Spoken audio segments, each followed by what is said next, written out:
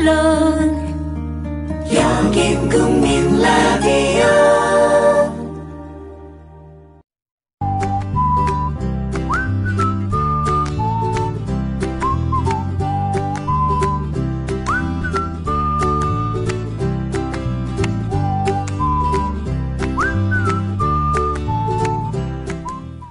명예 박사라는 게 있죠? 무슨 뜻일까요?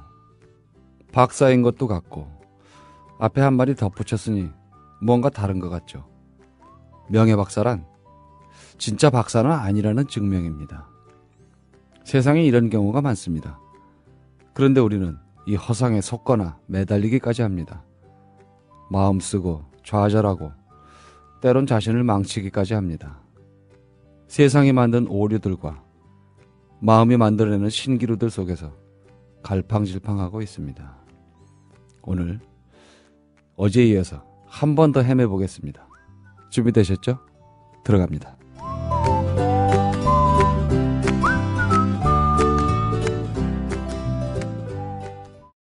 진! 진짜 안보가 왔다. 짜! 짝퉁 안보는 가라. 안! 안 보이는 안보도 가라. 보! 보이는 안보가 왔다. 진짜 사나이로 감동할 2014년 가장 담대한 책. 김종대 정옥식의 진짜 안보. 안보계의 슈퍼스타 김종대 정욱식 국민을 위협하는 가짜 안보를 해부합니다. 21세기 평화 세대가 선택한 최첨단 안보 교양서. 김종대 정옥식의 진짜 안보. 음, 책의 가격은 얼마에 음, 형성되어 있죠? 13,700원 전국 서점과 온라인 서점에 있습니다. 도서출판 서해문집 커피. 이제 아무거나 마시지 말자. 커피를 즐기는 사람들에게 질 좋은 한 잔의 커피는 하나의 권리입니다. 커피를 아는 전문가가 정성을 다한 로스팅으로 만든 제대로 된 커피. 제제 원두 커피로 여러분의 권리를 누려보세요. 02-749-1002 주소창에는 카페제제.co.kr 그리고 검색창에는 카페제제를 검색하세요. 카페제제는 서울 용산구에 위치해 있습니다. 카페 제재는 카페가 아닙니다. 커피 전문 인터넷 쇼핑몰입니다. 헷갈리지 마세요. 김대리, 우리 회사 대표 번호 신청했나? 네, 사장님. 말로고는 1636 말하는 전화에 신청했습니다. 에? 아니, 전화를 말로 걸어? 네, 어려운 번호 대신 1636 누르고 상호명을 말하면 바 로 저희 회사로 연결된다고요. 이제는 번호를 알릴 필요도 없어요. 기억하세요. 상호, 브랜드, 명사로 단 하나뿐인 번호의 주인이 될 수 있습니다. 문의는 1636 누르고 말하는 전화라고 말씀하세요.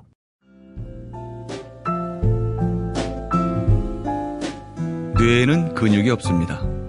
책은 섹시한 뇌를 위한 체육관. 국민 라디오. 전영관의 30분 책 읽기. 네, 어제에 이어서 박현경 씨 모셨습니다. 안녕하세요. 네, 안녕하세요. 네.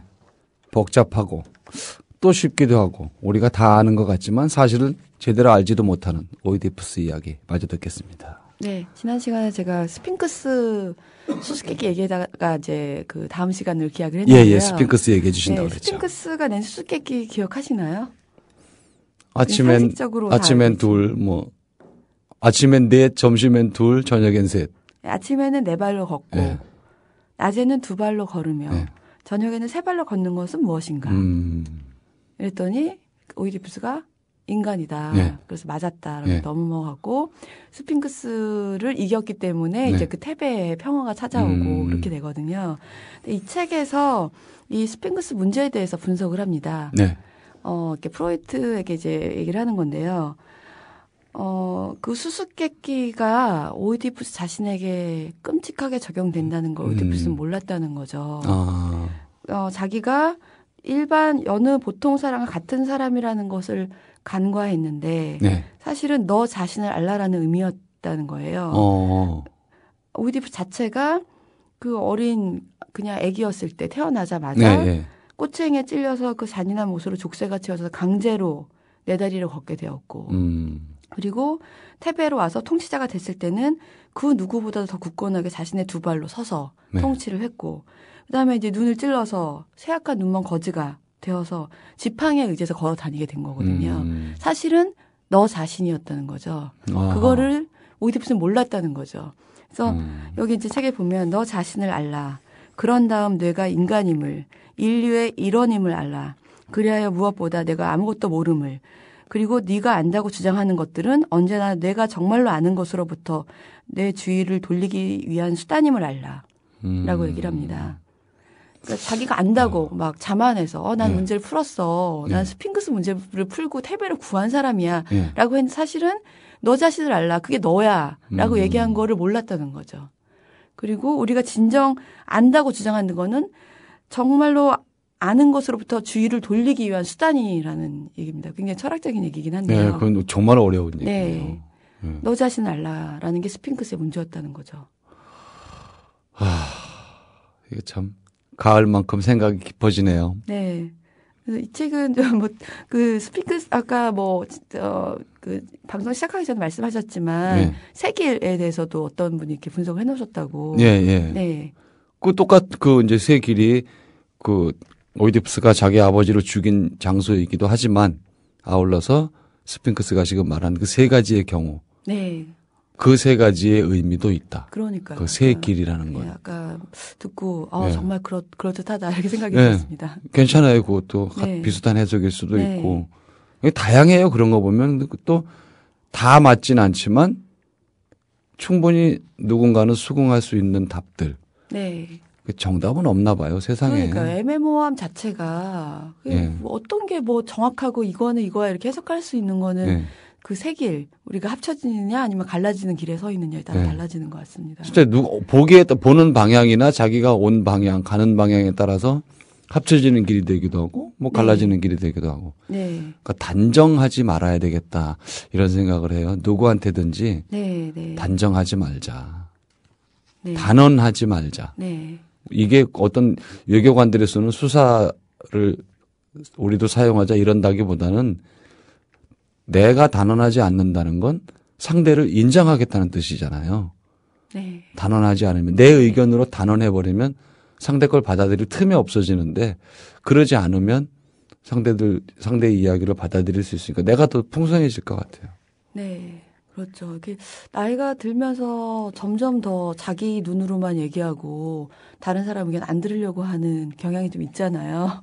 나이 들면요. 우리가 흔히 어른이 어른이라는 의미는 이렇게 포용력이 있고 직관, 달관 이런 얘기를 하는데 뭐 이렇게 물론 저뭐 어르신들한테는 또 이렇게 이게 굉장히 외람된 말씀일 수 있지만 나이 들면은 편견과 고집만 늘어나는 것 같아요.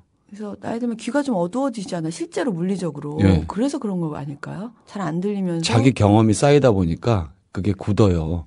처음에는 퇴적이 되면서 물론 진흙처럼 이렇게 쌓이는데 네. 앙금처럼 쌓이는데 세월이 오랜 세월에 세월의 무게를 누르면 이게 돌덩이처럼 딱딱해져 가지고 그러니까 깨지지가 않는 거예요. 네. 그래서 내가 해봤는데 야 인마 내가 이렇게 이렇게 해봤는데 뭔 소리야.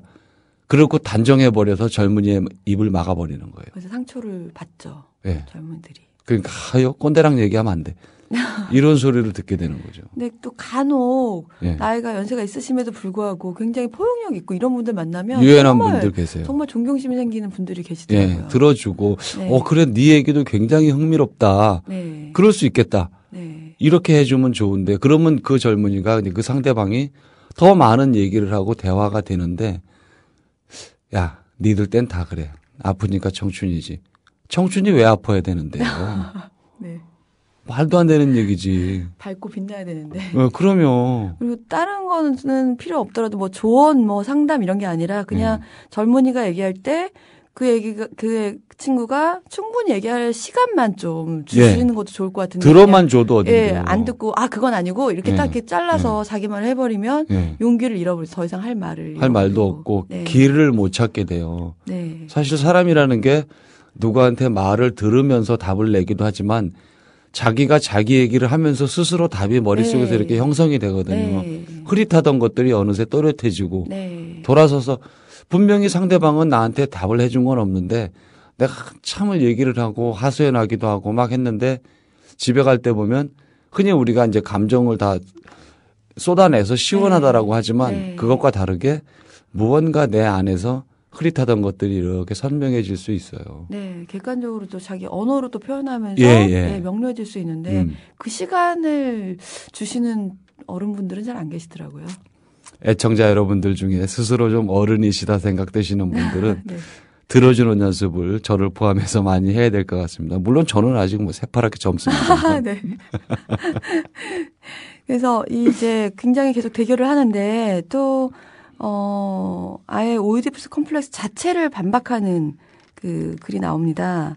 음, 어, 테이레시아스가 그, 오- 그 프로이트한테 박사, 당신은 이 이야기의 규모는 제대로 파악했지만 네. 전체적인 요점은 파악하지 못하셨소. 라고 어. 얘기합니다. 어. 굉장히 강렬한 그러네요. 얘기죠. 왜냐하면 어, 이 세상에서 단 한 사람만은 당신이 만든 그 컴플렉스가 없었다고 말할 수 있기 때문이다. 그 단 한 사람이 바로 오이디푸스라는 거예요. 음. 이제 저자 얘기는. 예. 어, 오이디푸스는 그냥 평범한 오이디푸스였고 예. 그 사람이 어머니하고 자고 싶어 했고 뭐 이런 게 아니고 네. 다만 그 사람의 잘못은 알지 말아야 할 것을 알고 싶어 한 욕망 때문이었다는 거죠. 그 자리에서 이제 네. 뭐막 그 자기가 아라이오스를 죽이고 한 명만 살아남았거든요. 네. 목격자가 한 명 있었어요. 그래서 그럼 목격자를 데려오라 그리고 그 사람이 죽은 사람 죽인 사람이 누구냐 막 이런 이제 밝혀진 장면인데 계속 만류를 하거든요. 이제 거기에 테이레사스도 있었고 음. 장님 예언가지만 어 그냥 몰랐으면 그냥 넘어갔으면 밝히지 않으면 될 일을 예. 끝까지 밝히고 왕비는 이제 두려움에 떨면서 그냥 좋게 좋게 얘기하려고 하는데도 불구하고 이 오디푸스는 알고 싶은 욕망에 사로잡혀서 끝까지 그걸 물고 늘어서 밝히거든요 진실을. 아. 그러면서 비극이 딱 드러나고 왕비는 음. 이제 목매달고 자기는 눈을 찌를 수밖에 없는 상황이 되는데 그 알지 말아야 할 것을 반드시 알려 한 그 그리고 그를 막으려고 그 주변 사람들이 모든 사람이 노력을 네. 했어요 그 장면에서 그럼에도 불구하고 스스로 인생을 파멸로 이끌 수 있는 그 한 가닥 알 암에 예. 매달려 있었다는 거죠. 그게 오이디푸스의 비극이죠. 음.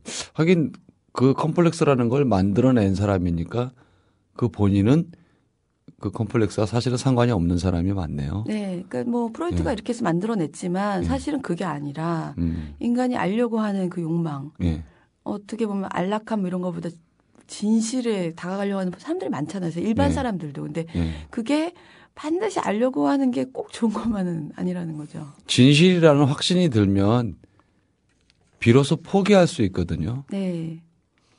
그 진실이 뭔지를 모르고 의문이 들면 사람은 포기할 수가 없어요. 인정할 수 없어져 버리는 거죠. 음, 알면 명확하게 네. 자명하다 그러세요. 자명하다. 네. 자명한 일. 그래서 낱낱이 다 밝혀지면 어떡할 거예요. 이제 다 지난 일인데 비로소 이제 포기할 수 있는데 그렇지 않으니까 우리가 포기를 못 하는 거예요. 세월호도 똑같은 거예요.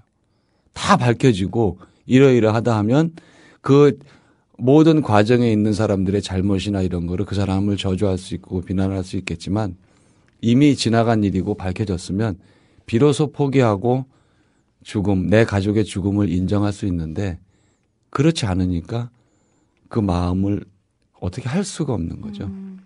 네. 여기서는 이제 네. 그 비극, 이제 네. 그 비극의 고전이잖아요. 네. 오이디푸스 신화가. 근데 이 비극이 시작되고 끝나는 그 지점이 음. 알지 말아야 할 것을 알려고 한 그 욕망이었다는 음. 거죠. 그리고 비극을 불러오는 것이 신들이 아니고 신탁이 아니고 네. 우리 인간들이 신호를 오해하는 것이다. 라고 네. 얘기를 합니다. 어제 읽은 것 중에도 다만 신호를 줄 뿐이다 했듯이. 네. 그래서 어 이제 이 오이디푸스가 만약에 알려고 한 욕망을 네. 조금만 자제했더라면 음. 아무 일 없이 그냥 그 어머니이자 부인이 요카타랑 편안하게 태베에서 음.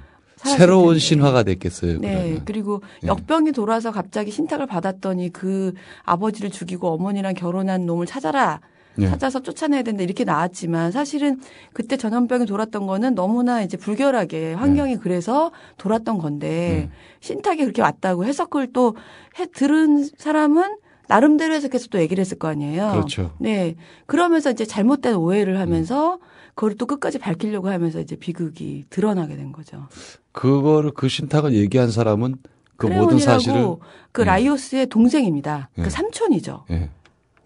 그 사실은. 원래 요카스테 남편이 라이오스 죽고 나서 크레온이 원래 왕이 돼야 됐었거든요. 네. 그런데 갑자기 어디서 굴러 들어온 사람이 뭐 스핑크스 문제 풀었네 하면서 요카스테랑 결혼하고 왕이 된 거예요. 네. 그럼 크레온은 왕이 되고 싶었나? 음. 그렇지 않았다고 해요. 그냥 이인자로서 만족을 했는데. 어. 네. 그럼에도 불구하고 이제 마지막에는 이제 그 오이디푸스가 떠나고 나서 왕이 되긴 합니다. 음.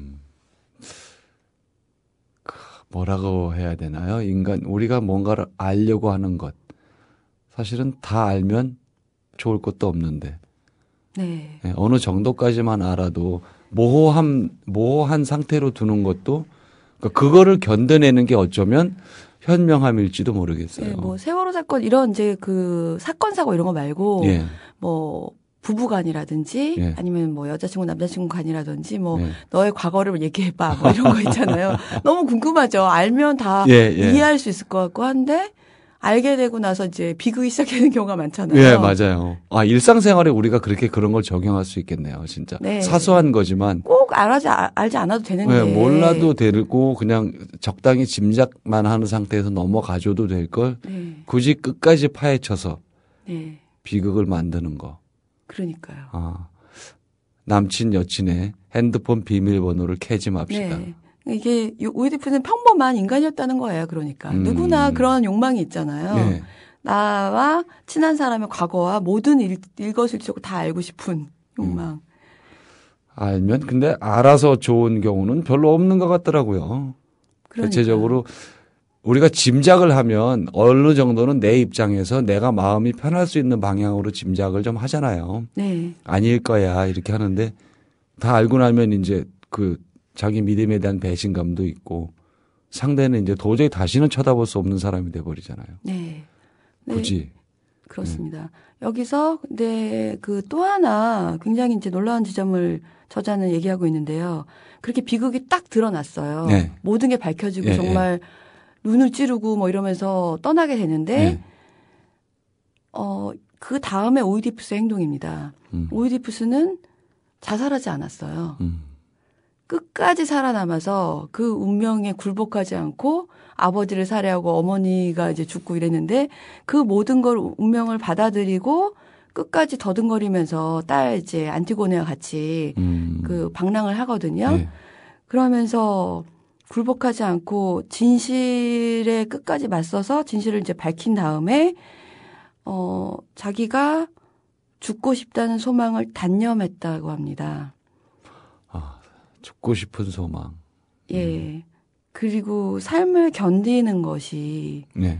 삶의 모든 의무 중에서 가장 힘든 것이라고도 할 수 있는데 네. 견디는 것을 해낸 거죠. 삶을 견디는 것. 시 삶의 의무 중에서 가장 힘든 의무일 수 있다는 거죠. 음.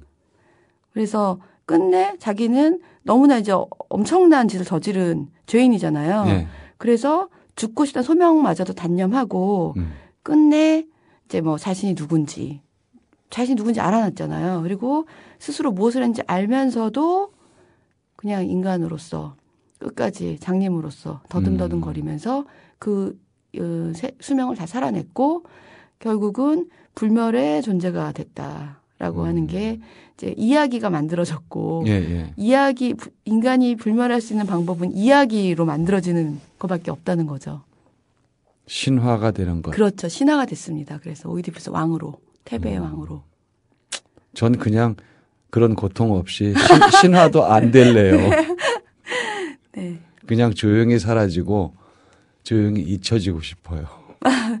아니, 뭐 요즘에 뭐 보면 자살도 많이 하고 그러잖아요. 예. 그냥 아 그냥 이 한 목숨 포기 죽고 싶다는 소망 그냥 죽음에 대한 소망이 예, 본능이 예. 있듯이 그렇게 하기 쉬운데 오이디푸스는 영웅적으로 자기의 운명을 음. 끝까지 살아냈다. 그런 측면을 우리가 읽어내는 것도 굉장히 중요해요. 그죠? 네. 오늘 굉장히 뭐라 그럴까, 그 오이디푸스 컴플렉스에 대한 나머지 부분들, 예, 새로운 해석을 예. 이 작가가 해냈죠. 어, 멋지네요. 작가입니다. 예. 인생을 살아내야 된다는 것. 아. 일반인이라면 그걸 과연 견딜 수 있었을까요? 그런 상황이 왔다면 자신한테? 못 견디죠. 보통 네. 영화 같은 경우에는 이렇게 이제 이 부분은 새로운 해석이고 보통은 영화에서 변주를 하거나 연극이나 이런 네. 데서 문학에서 변주를 하면 뭐 죽거나 자살하거나 이러겠죠. 네. 근데 끝까지 살아남았다. 네. 그 한 순간 순간이 얼마나 힘들었겠어요. 네. 살아남아 있는 그 순간이. 네. 근데도 살, 살았다. 네. 끝까지. 그렇습니다. 그리고 마지막에 이제 그 안티고네가 얘기하는 부분이 있는데요. 네. 그 어떤 뭐 이제 그 오이디푸스라는 콜- 콜로노스의 오이디푸스라는 그 글의 안티고네의 대사인데 아버지께서는 원하시던 대로 타국의 땅에서 생을 마치셨어요. 고요한 그늘 속에 영원한 안식처를 얻으셨고 애도하는 사람 없이 가시진 않으셨어요. 라고 안티고네가 얘기를 합니다. 음. 그러니까 불- 아주 불행하게 죽지는 않은 거죠. 음. 주변에 애도하는 사람도 예, 있었고 그 편안하게 죽었다. 아버지이자 오빠. 아 그러네요. 예. 그렇다고 할 수 있을까요? 아니 오빠라고 해야 될까요? 오이딥스가 낳았는데 같은 엄마를 가졌잖아요. 아 그러네요. 아, 아 복잡하네요. 예. 천수가 복잡하네요. 같은 유전자를 가진, 네. 같은 피를 가진 아버지이자 오빠. 안티고네를 주인공으로 해서 네. 다시 써도 재밌을 것 같아요. 네. 그것도. 안티고네도 모르다가 네. 도저히 받아들일 수 없는 사실들을 아는 거잖아요. 그리고 두 가지로 뭐 첫 번째 충격은 오이디푸스가 그랬다는 것. 네. 이것이 이제 첫 번째 충격이 되겠죠. 아버지를 죽였다는 것. 뭐두 번째는 뭐 이제 그 내 아버지 아 아니구나 내 아버지가 아니구나 네. 아버지가 아니죠. 아버지가 아닌데 가면서 봐 그러면 이게 두 가지 정도가 오는데 엄마와 내 아버지가 엄마의 아들이었다는 것. 그렇죠. 또 하나 뭐가 있을까요? 충격적으로 안티고네가 알 수 있는 것. 뭐 그 정도겠죠. 그거 하나인가요? 뭐, 뭐가 하나 또 있었는데 갑자기 생각이 안 나네요. 그래서 안티고네를 중심으로 해서 그렇게 써서 새로운 해석을 해도 재밌을 것 같아요. 네, 그래서 장님이 된 네. 오디푸스를 끝까지 네. 오디푸스 죽을 때까지 옆에서 모시면서 음. 같이 노숙도 하고 정말 무슨 굴 속에 들어 자기도 하고 이러면서 음. 아버지를 모셨죠. 그 심정, 그 아버지를 바라보는 심정도 또 오이티푸스 못지않게 끝까지 살아낸 거잖아요. 네, 그렇습니다. 안티고네도 네. 두 모녀를 부, 부녀를 그렇게 봐줘야 될 것 같아요. 네.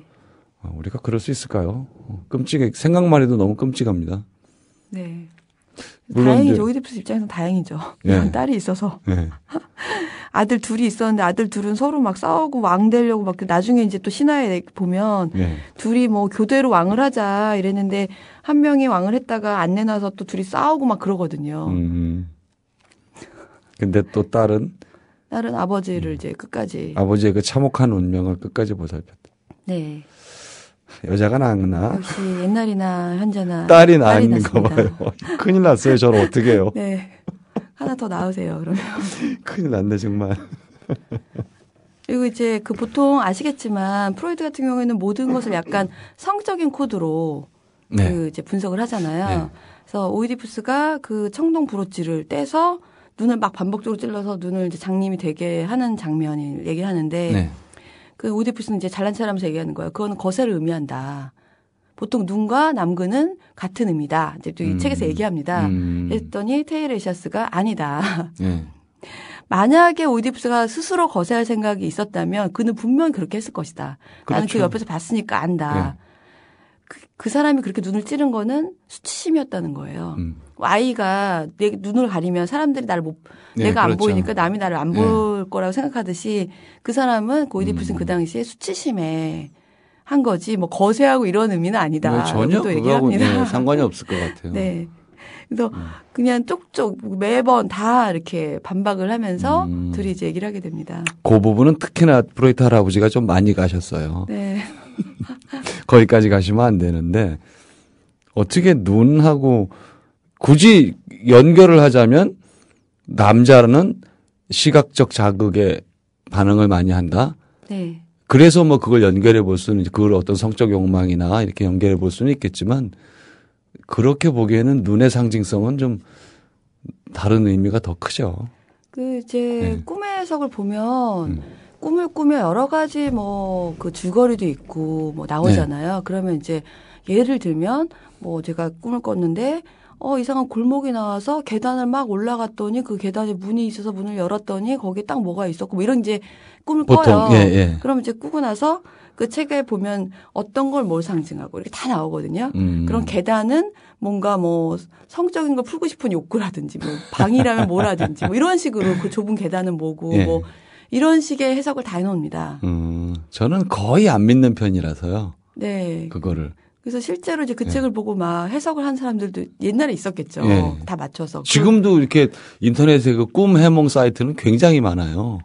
그, 예, 뭐 프로이트식은 아니겠지만. 예, 예, 나름의 예. 해, 해몽 이렇게 하고 이제 뭐 그게 주역이나 이런 거에 기반을 둔 경우도 있고 아, 여러 가지- 주역에도 그런 게 있나요? 이제 그런 걸 공부한 사람들이 응용을 하시겠죠. 아. 응용을 해서 뭐 막 많이 있는데 저 같은 경우는 꿈이 기억나는 게 1년에 한두 번 네. 거의 꿈을 기억을 못 하고 살기 때문에 또 기억이 난다 하더라도 그닥 이렇게 그거를 믿지는 않아요. 그래서 제가 이제 그 한참 그꿈 해석을 읽을 때 저도 예. 꿈이 기억이 안 나는 편이거든요. 예. 그래서 일부러 일어나갖고 프로이드가 한 것처럼 잠에서 깨자마자 바로 무슨 꿈 꿨지 막 생각하면서 노트를 옆에 아, 두고 아, 자다가 예. 쓰기 시작했었어요. 예. 근데 시간이 지날수록 꿈이 굉장히 길게 기억이 나는 거예요. 음. 어. 그리고 노트 한 페이지 두 페이지 넘어갈 정도로 오. 꿈이. 그리고 나서 하루 이틀 지나면 다시 노트를 읽어보면 어 내가 이런 꿈을 꿨었나 싶은 까맣게 잊어먹고. 예, 또. 왜냐면 자고 일어나자마자 바로 이제 눈도 눈도 감은 상태로 막 쓰거든요. 예, 이런 예. 꿈 잊어, 잊어 버릴까봐. 근데 어. 아 이게 자꾸 기억하려고 노력하면 되는 거구나. 아, 그럴 수 있겠네요. 네, 어. 그렇더라고요. 출근 시간이 늦으셨나 봐요, 굉장히. 네, 그때 제가 학생 때였기 때문에 음, 아, 심취하면서. 새벽에 깨자마자 꿈 꾼 걸 쓸 정도면 굉장히 여유로운 건데. 근데 보통 소설가 분들 중에 예, 예, 예. 꿈에서 어떤 그런 상상이나 이런 걸 좀 얻으려고 그럴 수 분들이 있죠. 있다고 들었거든요. 그건 정말 새로운 것이니까 우리가 이렇게 거리에서 현실계에서 직접 보는 거하고는 또 다른 거니까. 네, 자기의 뭐 욕망이나 뭐 무의식에 잠들어 있던 거를 음. 꿈에서 발현한 거를 받았으니까 의외로 또 괜찮은 그림이 나올 수 있습니다. 한번 해보세요. 그럴 수 있겠네요. 뭐 네. 저도 한번 노력해 봐야 되겠네요. 네, 네. 꿈을. 근데 뭐 1년에 한두 번이니 그거 언제 그게 기억나서 받아 적을 수 있을래나 모르겠어요. 엄청난 황금 같은 꿈이 아닐까요? 그걸 바로 소설로 쓰면 예지몽. 네. 그랬으면 좋겠네요. 자, 새 길이 만나는 곳, 셀리비커스. 얇지만 만만치 않은 책. 여러분들에게 권해드리고요. 박현경 씨 오랜만에 오셨는데 또 한 주 정도 쉬시고 또 나와주세요. 네, 알겠습니다. 예, 오늘 네, 고맙습니다. 감사합니다. 네.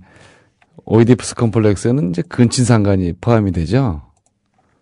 만약 혈족이 아닌 다른 사람에 의해서 자랐다면, 뭐 유모를 엄마로 안다면, 이것도 근친상간일까요? 단지 그 유아기에 각인된 사람한테 가지는 그런 컴플렉스라고 보면 안 될까요? 제가 감히 프로이드에게 반기를 드는 건 아닙니다만, 그가 너무 오랫동안 무비판적으로 인용된다는 생각이 듭니다. 성적 욕망을 너무 광범위하게 작용했다는 생각도 들고요. 프로이트가 오이디푸스 신화를 한 어떤 한 방향으로만 몰아갔다고 지적한 셀리 비커스의 의견에 저는 동의합니다. 세상에 어느 이론이 인간을 설명할 수 있겠습니까?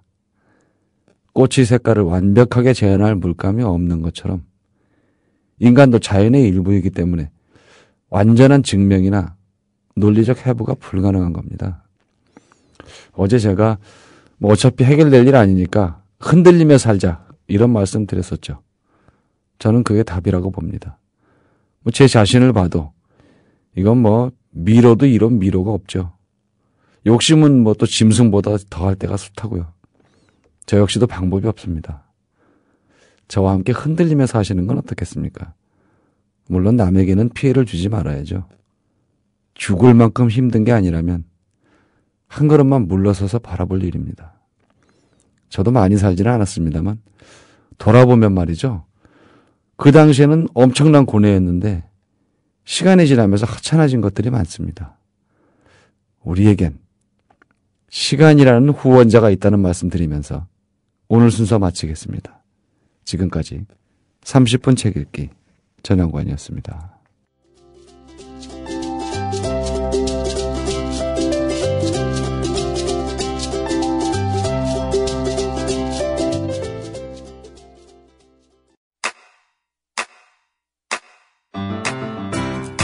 국민 라디오 지지하는 네 가지 방법 아시나요? 다운로드하기, 별점 주기, 댓글 달기, 구독하기. 국민 라디오를 보다 많은 이들에게 전할 수 있는 가장 손쉬운 방법. 다운로드하기, 별점 주기, 댓글 달기, 구독하기. 잊지 마세요. 다운로드하기, 별점 주기, 댓글 달기, 구독하기.